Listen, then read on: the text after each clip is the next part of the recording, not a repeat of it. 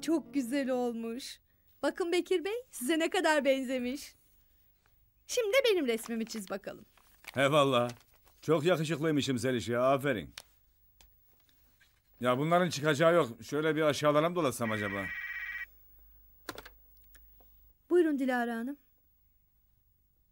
Tabii. Nasıl isterseniz. Bulurum tabii.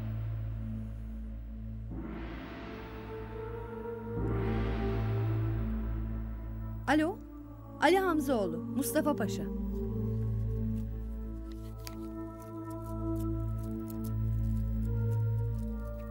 Ne olmuş Hamzoğlu'na? Ne edecekmiş? Bilemiyorum.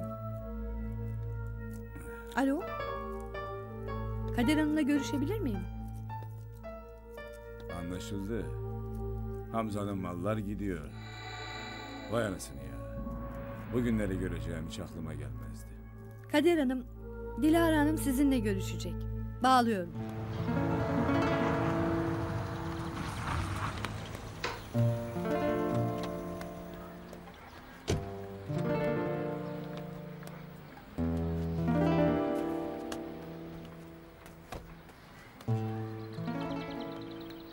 Aman aman halasının gülü gelmiş. Hoş geldin Dilara. Hoş bulduk. Ay ne kadar sevindim bir bilsen. buyur geçin. Bekir Bey sen de buyur. Yok Kader Hanım sağ ol. Bekir yabancı gibi durma. Geç. Sıcak börek var hadi. Benim azıcık çarşıda işim var. Sağ olun Kader Hanım. Ey sen bilirsin. Le havle. Bir Hamzalara pasta alıp çaya gelmemiz eksik kalmıştı.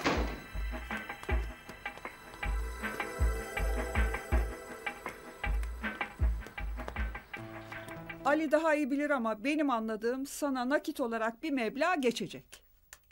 Sen tarlaydı, bağdı uğraşamazsın. İşletemezsin. Satayım desen satamazsın.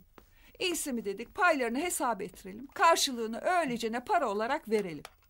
Ama başka türlü bir arzun varsa o da olur. İyi düşünmüşsünüz. Aklına bir şey gelmesin. Sen de tut bir müşavir, incelet. Karşılıklı bakılsın işte. Siz bir miktar belirleyip avukata bildirin de sonra bakarız.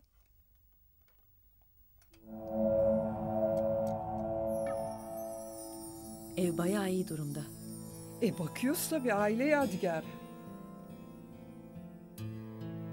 Bir zamanlar bu civarın en güzel konağıydı Hamzaoğlu konağı. Herkes bu eve özenirdi. Öyleydi. Burası ben kızken insandan davetten geçilmezdi. Çın çın öterdi. Ne kadar içinize kapandınız sonradan sonraya. Öyle oldu. Biraz da Sümbül Hanım sebep oldu buna ya. O dedikodu doğru mu? Hangisi? Bu havalde dedikodu mu ararsın? Şu annemle Ali Bey hakkında olan. Doğru. Senin annen için o zamanlar çok kişi girdi birbirine. Duyardık. Dedenlerin konağı her gün başka görücü gelirdi. Sümbül de sümbül o zamanlar. Okula giderken elinde çanta bir salınır geçerdi, çarşı karışırdı. Böyle bir gün abim çıkmış karşısına. Seni ben alacağım Sümbül Hanım, söyle babana görücü kabul etmesin artık demiş.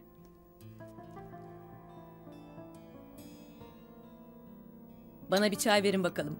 Öyle bakmakla olmaz. Hadi iyice yakından bakın da işinizin başına dönün. Öldüler sen geldiğin günden beri. Bayılmışlar sana. Sonra Sonra Sümbül haber yolladı. Ben okumamış tahsilsiz koca istemem. Boşuna anasını yollayıp kırılmasın demiş. Abim delirdi. İki sene peşinde dolandı. Sümbül'e dar etti dünyayı. Kız okula gidip gelemez oldu.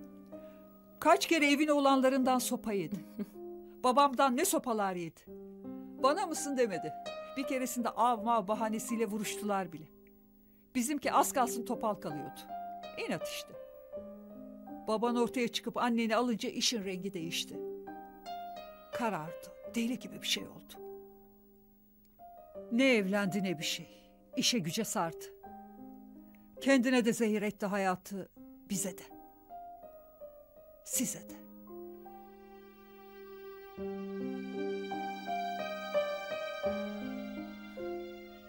Bana Osman'ın odasını gösterir misin Kader abla?